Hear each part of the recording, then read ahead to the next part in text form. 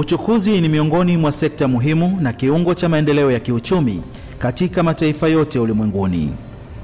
Usafirishaji kwa njia ya anga, reli, barabara na majini huwezesha shughuli za uchukuzi kufanyika kwa kusafirisha na kupokea shehena za aina mbalimbali ambazo ni mahitaji ya jamii katika matumizi ya kila siku. Bandari, lango la biashara kitaifa na kimataifa. Tarehe 9 Juni 2021, serikali ya Jamhuri ya Muungano wa Tanzania ilitoa fedha za Kitanzania shilingi bilioni 43 na milioni 840.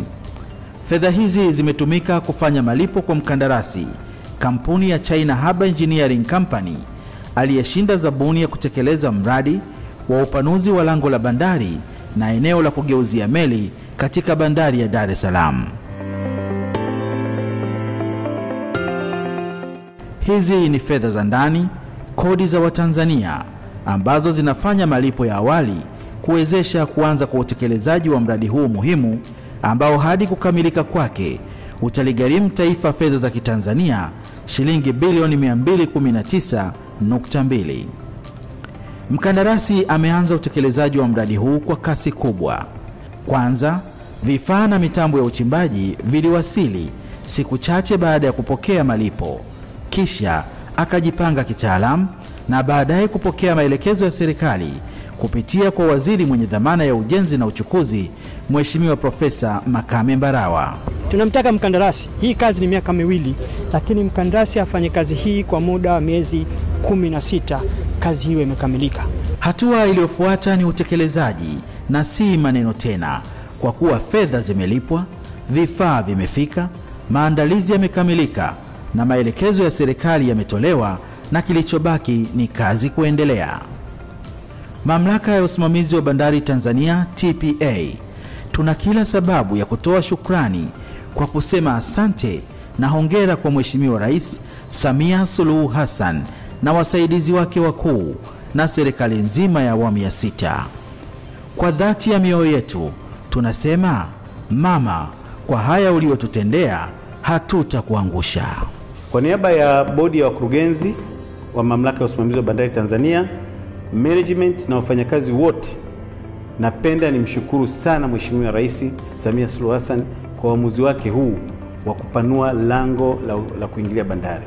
Ni uamuzi wa kibiashara na uamuzi ambao utafanya bandari yetu iwe na heshima kubwa sana. Nimshukuru sana pia kwa kutupa pesa za kununua vifaa ambavyo vimeanza kufika na tunaamini kabisa mpaka kufika mwisho wa mwezi Disemba vifaa vyote vya, bili, vya shilingi bilioni 210 tulivyoviagiza ambavyo Mheshimiwa Rais ametoa fedha toka mwezi wa tano vitakuwa vimefika vyote vimekamilika.